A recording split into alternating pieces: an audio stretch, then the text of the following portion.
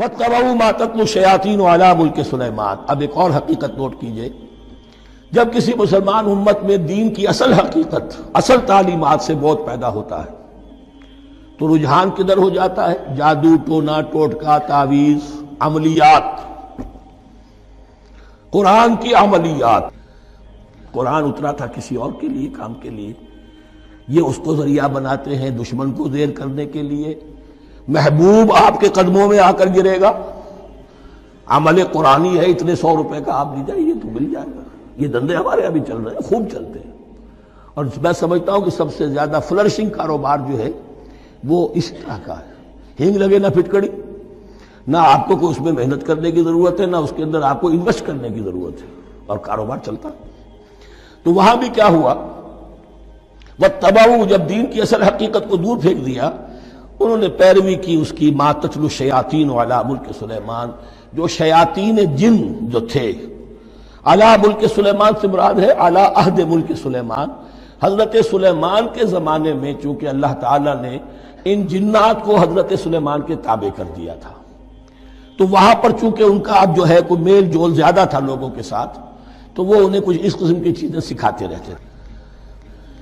گویا کہ اندر سے تقریب کاری۔ وہ تباؤ ماتل شیاطین والا ملک سلیمان وما کفر سلیمان ولا کن شیاطین کفر اور سن لو سلیمان نے کبھی کفر نہیں کیا، بلکہ یہ شیاطین تھے کہ جو کفر کرتے تھے۔ جادو کفر ہے۔ لیکن آپ کو نقش سلیمانی آج تک بھی لفظ ملے گا، نقش سلیمانی۔ آج بھی مسلمان بھی ان چیزوں کو حضرت سلیمان کی طرف منسوب کر رہے ہیں۔ وہ ظلم اب بھی جاری ہے۔ وما کفر سلیمان ولاکن شیاطین کفر یعلمون الناس السحر. وہ لوگوں کو جادو سکھاتے تھے. وما انزل علی الملکین ببابل ہاروت و ماروت. اور جو کچھ نازل کیا گیا دو فرشتوں پر ہاروت اور ماروت پر بابل میں. بابل یہ ہے پرانا عراق، بیبلونیا. نبوکڈ نظر بھی بیبلونیا کا بادشاہ تھا. نمرود بھی بیبلونیا کا بادشاہ تھا. عراق کے بادشاہوں کا لقب ہی تھا نمرود. نماردہ اس کی جمع ہے. تو حضرت سلیمان کی حکومت جب تھی، تو وہاں پر یہ لوگ جنات جو ہیں، وہ اس قسم کی تقریب کاری کر رہے تھے۔ تو اللہ تعالیٰ نے آخری آزمائش کے لیے دو فرشتوں کو زمین پر اتارا اور وہ انسانی شکل میں لوگوں کو جادو سکھاتے تھے۔ بتاتے بھی جاتے تھے، دیکھو جادو کفر ہے، ہم سے مت سیکھو۔ لیکن اس کے باوجود لوگ سیکھتے تھے۔ تو گویا کہ ان پر اتمام میں حجت ہو گیا کہ اب ان کے اندر خباست جو ہے، پوری طریقے سے گھر کر چکی ہے۔ وما يعلمان من احد اور وہ نہیں سکھاتے تھے کسی کو بھی، حتی یقولا انما نحن فتنۃ فلا تکفر۔ یہاں تک کہ وہ کہہ دیتے تھے کہ دیکھو ہم تمہاری آزمائش کے لیے بھیجے گئے ہیں، ہم فتنہ ہیں، تو تم کفر مت کرو۔ فیتعلمون منهما ما يفرقون به بین المرء وزوجه تو وہ سیکھتے تھے ان دونوں سے وہ شے کہ جس کے ذریعے سے تفریق کر سکے ایک ایک شخص اور اس کی بیوی کے درمیان۔